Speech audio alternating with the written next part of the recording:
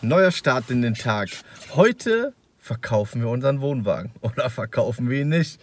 Mops, wie startet so dein Tag heute? Also eigentlich super. Ich habe heute Morgen die, Kaufverträge ausgedruckt, gemacht und getan. Ich habe gestern noch neue Patronen geholt. Es funktioniert.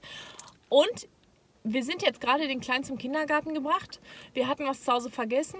Illo hat das eben geholt. Ich habe im Auto gewartet. Auf einmal legt er mir das Handy auf den Schoß, Leute. Und es ist kein Scherz. Er kriegt eine Nachricht.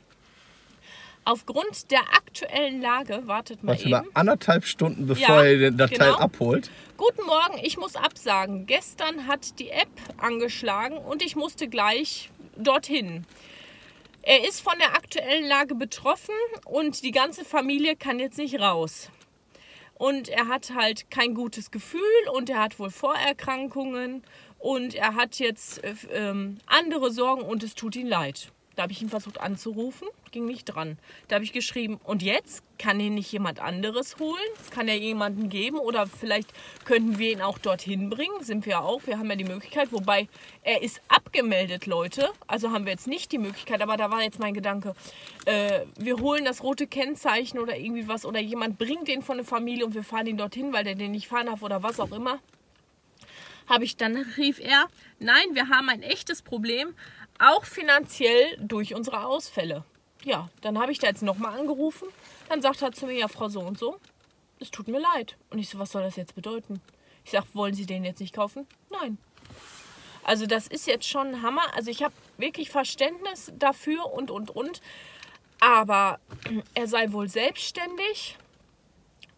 Ja, aber es geht ja auch gar Ich- nicht darum, ein Mann ist ein Wort und heute Ja, sind aber- Männer keine Männer mehr, ganz aber, ehrlich. So, wenn, ja, wenn, ich dann, ja. wenn ich dann was hab, so, dann kann man ja sagen, so, geht gerade nicht, äh, lassen Sie uns so in ein, zwei Wochen einfach nochmal sehen. Ja, oder ja, oder dieses mittlerweile, das so, sind, das sind zehn Tage eigentlich, soweit ich weiß. Äh, ja, oder ich weiß Ja, nicht, fünf aber Tage. ja, ja, also es ist aber trotzdem der Hammer, vor allen Dingen, wann er wirklich absagt. Er sagt anderthalb Stunden vorher ab. Äh, das ist jetzt schon, das Ja, ist schon kann, auch, kann auch dann wieder Also irgendwie nur eine weiß Masche nicht, sein. ich vielleicht, weiß nicht genau, genau. Man weiß es nicht. Es kann wirklich so sein. Ich habe dem Mann trotzdem alles Gute gewünscht. Ja, klar, wünscht man ihm Ähm, alles Gute. Aber es kann auch eine blöde Ausrede sein. Es ist jetzt der Hammer. Wir haben einen abgemeldeten Wohnwagen. Ich habe dafür gestern Geld bezahlt. Das heißt, wir können ihn jetzt nicht mehr nutzen. Es ist wirklich ein Scherz. Wir haben ja gestern auch drüber geredet. Ey, Ja, da also hat man diese- sich wirklich drauf verlassen. Man kann sich heutzutage nicht mehr auf ein Wort verlassen. Wir sind einfach zu gutgläubige oder wir selber, wir selber sind so, wenn wir wirklich sagen so, dann so, dann hätten wir Wege dafür gefunden. Also bei uns, wenn wir was sagen, halten wir unser Wort. Das ist wirklich wichtig. Aber wir müssen echt daraus lernen, dass wir, dass andere Menschen nicht so sind wie wir. Ne? Also es ist jetzt echt ein Scherz.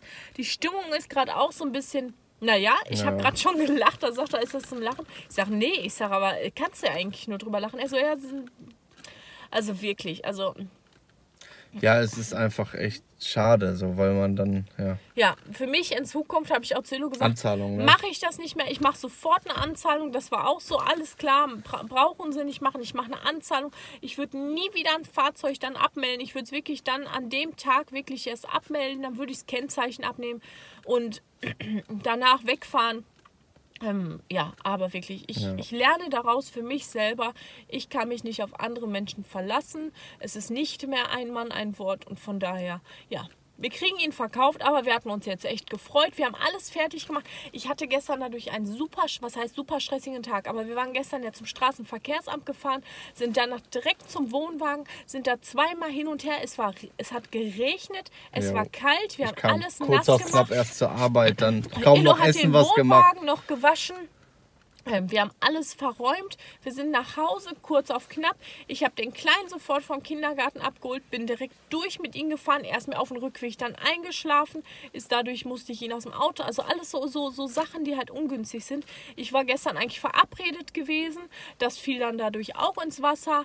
Äh, Das war ein Treffen gewesen auf dem Spielplatz. Das, das hat dann dadurch auch nicht mehr funktioniert.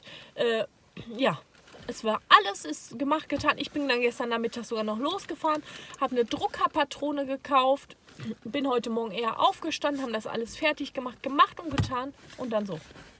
Ja, wir müssen jetzt mal irgendwie, wir müssen, wir sind, wir haben nur eins verloren halt, ja, so ein bisschen Glauben an, den, an das Wort eines Menschen einfach. Wir haben jetzt so natürlich nichts verloren, der, der Wagen kann dort auch abgemeldet stehen. Genau. Es ist nur einfach jetzt die Möglichkeit weg, dann wenn mal noch jemand kaufen würde, dass wir sagen, ja pass auf, wir bringen das Teil einfach vorbei, entspann dich, legst halt einen Fuffi hin oder für das Spritgeld. Wir, genau. wir machen ein super Video quasi, wie wir ihn wegbringen. Das ist jetzt für uns jetzt auch nicht ganz so schlimm, ne? Also naja. Ja, aber das ist einfach ja wirklich schade und ja, es, es, wir machen dann einfach weiter. Ne? Wir sind Stehaufmännchen so oder so. Auch bei unserer Tour werdet ihr das öfters sehen, dass irgendwelche Ereignisse, so wie ihr das selber äh, kennt, einfach kommen. Ja, wo man dann nicht so drüber glücklich ist und ja, wir sind jetzt eine Erfahrung reicher und ja. Er sagte zu mir, Sie kriegen den schon weg. Sie sind ja eine gute Verkäuferin. Ja, Mops, jetzt was in einer anderen Sache. Es geht ja jetzt hier um, um den Wohnungsverkauf und da drücken wir natürlich auch die Daumen, dass da alles glatt läuft und äh, warum was Da fällt mir gerade ein, wir sagen so zu deiner Mama gerade, wo wir rein sind, ja, äh, der hat abgesagt. Und sie so, was, wegen der Wohnung? und wir so, oh nee, das wäre jetzt auch noch der Hammer, ne? Das wäre jetzt echt der absolute Knaller. Also dann besser jetzt wirklich der Wohnwagen als die Wohnung, ne? Aber da läuft wirklich alles. Wir haben den Vertrag gekriegt im Entwurf und äh, die haben ja geheiratet und sie hat jetzt einen anderen Namen und hat aber den Ausweis vorher noch nicht ändern lassen, also nicht rechtzeitig, dass er dann schon irgendwie ankommt. Wir haben das damals so gemacht, irgendwie, dass der dann. Ja, ne? vorher schon. Wir wollten dann ja direkt äh, äh Seychellen sind genau, wir geflogen, ja ne? Tag später. Und äh, mussten auch schon Reisepass in den neuen Namen und sowas haben und hatten das halt schon alles im Vorhinein geändert. Ja, und da gibt es jetzt halt aufgrund dessen ein paar Schwierigkeiten, weil sie halt anders jetzt heißt und ja, das muss jetzt halt alles geklärt werden, aber da sind wir wirklich optimistisch. Also die haben auch wirklich Interesse. Die haben auch viel Interesse hier an ähm, Sachen aus der Wohnung. Unter anderem kaufen die auch unseren Küchentisch. Ja, aber da werden wir jetzt mal wirklich dann noch Nägel mit Köpfen machen. Irgendwie, dass sie das dann auch wirklich nicht, dass wir am Ende sagen, sie, ja, ja, ja wir müssen, brauchen das jetzt ja, doch ja, nicht. Ja, da werden wir einen Vertrag das. aufsetzen und wo drauf steht was. Aber die wollen unseren Küchentisch haben, die wollen die äh, Esstischlampe haben, die wollen den Schlafzimmerschrank haben, den Kinderzimmerschrank haben, die Kinderzimmerlampe an der Decke, die Kinderzimmerlampe an den Wänden. Im mhm. Badezimmer wollen sie den Hochschrank haben. Ähm, ich glaube, achso, draußen auf dem Balkon unsere Balkonstühle, den Balkontisch wollen sie haben. Ja, also wir werden einiges los, das ist ganz gut. Das heißt, wir müssen nicht so viel einlagern, wollten wir gar nicht. Hier die äh, Wohnzimmerschränke, die sind nicht wirklich mehr was. Äh, da hat der Mian da was auch kaputt gemacht. Im Flur da ist halt auch was dran. Im Schlafzimmer ist auch was dran. Das wollten wir halt eh wegmachen. Die Küche, die ist mittlerweile, ich glaube, schon 30 Jahre alt oder so, Leute. Die haben wir von meinen Eltern gekriegt, als ich ausgezogen bin oder mit ihnen damals zusammengezogen bin. Mein Vater hat meiner Mutter eine neue geholt und wir haben dann die Küche gekriegt. So waren halt zwei Fliegen mit einer Klatsche. Das war ganz praktisch. Und wir haben uns die mit den Jahren einfach weiß foliert, weil ich die halt auch gerne weiß haben wollte. Deswegen sind wir auch so ein bisschen abgeschreckt, was selber folieren angeht. Also wir haben Ahnung davon. Aber dabei hatten wir echt schon eine Ehekrise, weil der eine den anderen mit dem Heißluftföhn getroffen hat. Und das ist echt eine doofen Arbeit irgendwie. Deswegen wissen wir gar nicht, ob wir das selber machen. Wir wollen ja auch mal gucken, was kosten die Originalfronten. Aber die Küche, die ist jetzt wirklich schon, die hatten ja meine Eltern. Meine Eltern sind einmal damit umgezogen. Dann haben wir sie gekriegt in der Wohnung, wo wir gewohnt haben. Wir sind dann hier rübergezogen in unserer Stadt, wo wir jetzt wohnen und sind dann hier hergezogen. Also viermal ist sie umgezogen. Wir haben Korpusse dazu geholt. Hier stimmt was nicht, da mit der Höhe nicht. Und es ist wirklich überall irgendwie was dran. Hier seht ihr auch im Hintergrund, hat der Kleine dann hier dran gezogen. Aber äh, ja, ja ist halt es ist halt egal, das könnte man alles neu machen und abreißen. Aber wie gesagt, die Küche ist mittlerweile so zusammengewürfelt und irgendwas. Wir behalten die Elektrogeräte halt, die werden wir einlagern, aber der Rest, der kommt ja höchstwahrscheinlich weg, weil äh, dafür wollen wir jetzt keinen Platz irgendwie verschwenden. Das heißt, ja, aber das, das ja. wissen wir jetzt auch noch gar genau. nicht. Ne? Also vielleicht lagern wir die auch ein. Nee, das Pro nein, das Problem ist einfach, Ikea hat irgendwann seine Maße einfach der Korpusse geändert von, ich glaube, 60 ist, in der Tiefe aber, auf 80 ja, oder sowas. Ja, da muss ich aber sagen, das ist keine Ikea-Küche, aber so konnten wir quasi ja, einzelne Korpusse nachrüsten, weil wir damals noch eine Tür hatten.